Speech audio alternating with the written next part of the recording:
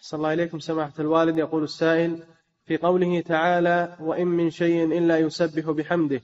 يقول كيف نرد على من يقول إن الكفار قد يموتون على الكفر ولم يسبحوا لله تسبيحة واحدة. يسبحون له يعترفون بربوبيته.